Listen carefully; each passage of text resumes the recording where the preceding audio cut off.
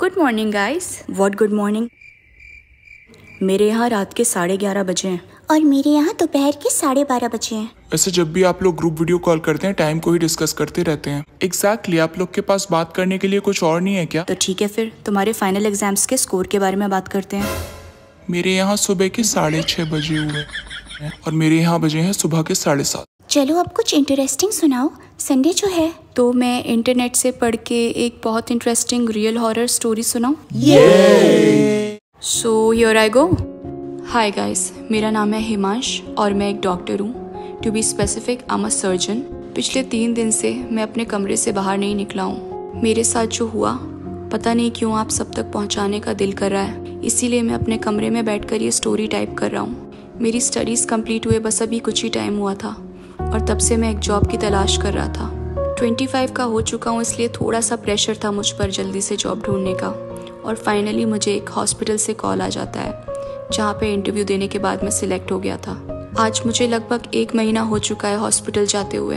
बहुत ज़्यादा दोस्त तो नहीं बने अभी मेरे, क्योंकि वहाँ पे सब सीनियर हैं, लेकिन ठीक ठाक बातचीत हो जाती है सबसे। कभी कभी वो लोग मुझे अपने साथ लंच करने के लिए बुला लेते हैं, और जब कोई नहीं बुलाता तो मैं अकेले लंच कर लेता हूँ। पर मुझे इससे कोई प्रॉब्लम नहीं थी। ज़बरदस्ती दोस्त बनाने का प्रेशर मैं बिल्कुल नहीं ले रहा था। जब कोई अपने जैसा मिलेगा तो दोस्ती हो ही जाएगी। आज से करीब दस दिन पहले, एक नॉर्मल डे की तरह मेरा हॉस्पिटल में गुजर रहा था। और तभी अचानक एक अजीब सी अफरा तफरी हॉस्पिटल में मच गई। मुझे लोगों के भागने की और चिल्लाने की आवाज़ें आ रही थी। अमा ह्यूमन आफ्टर ऑल क्यूरियोसिटी तो होती है। तो मैंने भी अपने आसपास जो डॉक्टर्स थे, उनसे पूछा कि क्या हो गया? ये अचानक से शोर किस चीज़ का आ रहा है? तो उन्होंने मुझे बताया कि उन्हें ज़्यादा कुछ तो नहीं पता, पर एक ऐसे पेशेंट को हॉस्पिटल में एडमिट किया गया है, जिसके सभी बॉडी पार्ट्स कटे हुए हैं। जैसे ही उसको हॉस्पिटल में लेकर आया गया रिसेप्शनिस्ट उसको देख कर चिल्ला पड़ी और जो भी अचानक उसके सामने पड़ जाता है, उसे देख लेता है, वो ज़ोर से चिल्ला पड़ता है।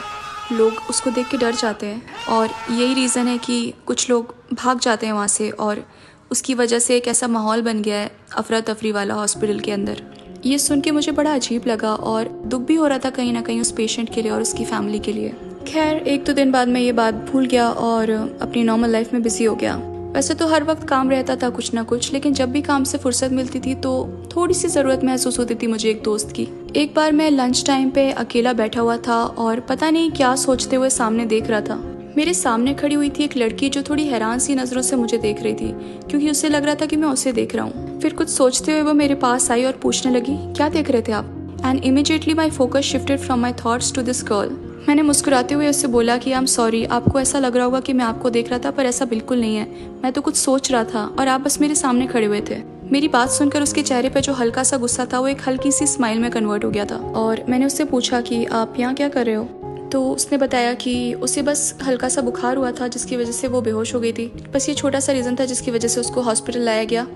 तो वो बस दो दिन के लिए यहाँ आए और दो दिन के बाद चली जाएगी यहाँ से। इसके बाद वो मुझसे बस ऐसे कुछ बातें करने लगी और बातों बातों में मैंने उससे बताया कि यहाँ का स्टाफ थोड़ा सा मुझे समझ नहीं आ रहा है। अभी मेरी कुछ खास दोस्ती नहीं हुई है किसी से। तो उसने भी अपने एक्सपीरियंस शेयर किए और बताया कि उसे डॉक्टर्स थोड़े से रूड लगे यहाँ के।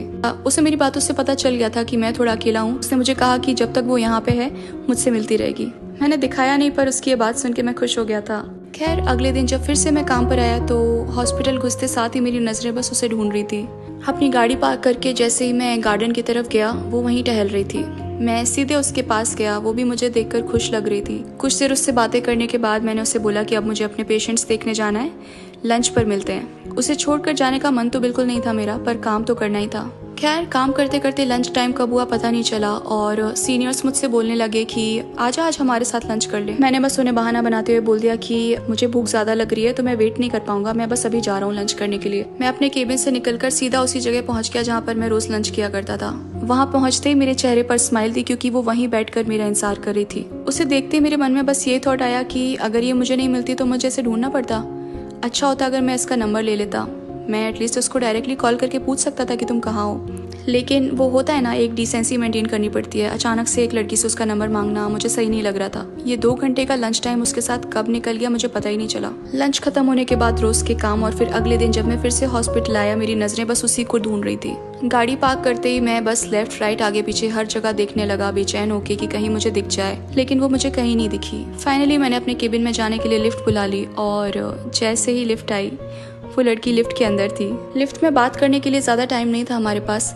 इसलिए बस एक हल्की सी स्माइल एक्सचेंज हुई और मैंने उससे बोला कि लंच में मिलते हैं। अपने केबिन में पहुंचकर मैंने सारा काम खत्म किया और लंच होने से कुछ देर पहले ही मैं लिफ्ट की तरफ़ भागा। बहुत सारे थॉट्स मन में आ रहे थे। थोड़ा बुरा लग रहा था ये सोचकर कि कल से वो मेरे साथ नहीं होगी और कल शायद मैं अकेला ही लंच कर रहा मैंने लिफ्ट का बटन प्रेस कर रखा था और जैसे ही लिफ्ट मेरे सामने आकर खुलती एक बार फिर से वो मुझे लिफ्ट में मिल गई। उसका चेहरा सामने आते ही मैं सब कुछ भूल जाता था। कोई टेंशन नहीं, बस अच्छा लगता था। लिफ्ट में घुसते ही मैंने उससे बोला, मुझे आपका नाम तक नहीं पता और हम दो दिन से एक दूसरे को जानते हैं। हँसते हुए उसने जवाब दिया, हाय हिमांश, मेरा नाम है। और तभी अचानक से लिफ्ट रुकी और उसका ध्यान लिफ्ट पर चला गया। लेकिन मेरा ध्यान उस पर था। मैं सोच रहा था कि इसे मेरा नाम कैसे पता? मैंने तो उसे अपना नाम नहीं बताया। तभी मुझे क्लिक हुआ कि मेरा नाम मेरी आईडी पर लिखा हुआ है। देख लिया होगा उसने। लिफ्ट बार बार अलग अलग फ्लोर्स पे रुक रही थी, लेकिन उससे हमें कोई खास फ़र्क नहीं पड़ रहा था, क्योंकि हम तो एक दूसरे से बातें कर रहे थे।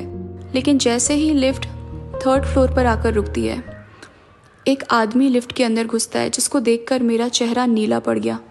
मैं इस आदमी को देखकर इतना घबरा गया था कि मैं वर्ड्स में एक्सप्रेस नहीं कर सकता अपना डर। मेरी सांस रुक गई थी जब तक वो लिफ्ट में था। जैसे ही वो लिफ्ट से निकला मैंने नोटिस किया कि ये लड़की मेरे चेहरे को देख रही थी। वो हैरान होकर पूछ रही थी कि क्या हो गया? मैंने उससे बताया कि अभी जो आदमी लिफ्ट के अंदर से गया है, उसके हाथ में रेड टैग था। तो? तो क्या हुआ? तो मैंने कहा कि रेड टैग उन लोगों के हाथ में लगाया जाता है जो पेशेंट मर जाते हैं और उन्हें मॉर्चरी में भेजा जाता है। ये सुनकर वो थोड़ा परेशान हुई और बोली कि तुमने कुछ और देख लिया होगा।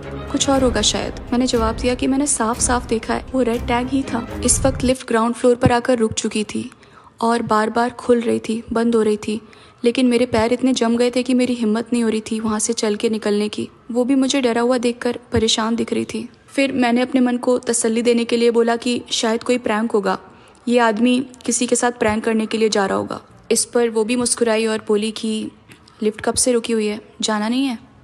मुझे थोड़ा ठीक लगा और मैं लिफ्ट से बाहर निकल गया और पलट कर जब मैंने उसे देखा तो वो लिफ्ट में ही रुक गई थी। मैंने उससे पूछा कि, बाहर क्यों नहीं आ रही हो? तो उसने कहा कि, तुम बहुत डर गए हो, अब मैं तुमसे नहीं मिलूँगी। मैं समझ गया कि वो आज हॉस्पिटल से डिस्चार्ज होने वाली है, इसलिए ऐसा बोल रही है। मैंने तुरंत अपना हाथ आगे बढ़ाते हुए उससे बोला, मैं हिमांश, और तुम? उसने एक स्माइल के साथ मुझसे हाथ मिलाया और कहा, मैं सारा। उसका हाथ मेरे हाथ में था, पर मुझे ऐसा महसूस हो रहा था जैसे मेरे हाथ में कुछ है ही नहीं। मैंने तुरंत बिना कुछ सोचे उसके हाथ की तरफ़ देखा और जानते हो मुझे क्या नज़र आया? उसकी स्लीव के अंदर से झांकता हुआ वही रेड कलर का टैग जो मुर्दों को बांधा जाता है। मैं वहीं बेहोश होकर गिर पड़ा और जब मुझे होश आया, मैं अपनी जान पहचान वाले डॉक्टर्स से घिरा हुआ था इसी हॉस्पिटल के एक रूम में। ये डॉक्टर्स मुझसे पूछ रहे थे, क्या हो गया तुझे? तेरी तबीयत तो ठीक है? और तू लंच टाइम में अकेला बैठा क्या बड़बड़ाता रहता था? इसीलिए तो हम तुझे बुला रहे थे अपने साथ लंच करने के लिए। मुझे लगा मेरी बात पर कोई यकीन नहीं करेगा, पर मेरे पास कोई ऑप्शन भी नहीं था। मैंने उन्हें सब कुछ साफ़ साफ़ बता दिया, और जैसे ही मैंने बोला कि उस लड़की का नाम सारा था, उनमें से एक डॉक्टर की आँखें फटी रह गईं। हकलाते हुए उसने बोला सारा सारा तो वही वही वही लड़की थी जिसके जिसके सारे बॉडी पार्ट्स कटे हुए थे, और उसकी तो उसी दिन मौत हो गई थी। मैंने कहा, नहीं नहीं, वो कोई दूसरी होगी। तुम लोग मेरे साथ प्रैंक कर रहे हो ना? तो वो बोले, नहीं, हम कोई प्रैंक नहीं कर रहे। हम में से तो किसी ने उसको देखा तक नहीं है।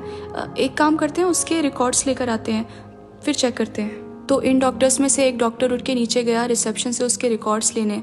और जब वो ऊपर आया, हमने उसके हाथ से फ़ाइल ली और जब सारा की फ़ोटो देखी तो ये बिल्कुल वही लड़की थी जो मैंने डिस्क्राइब करी थी। वही बाल, वही चेहरा जिससे मैं रोज़ बातें करता था। हम सभी डॉक्टर्स बहुत बुरी तरीके से डर गए थे और मेरे तो आँसू भी गिर रहे थे।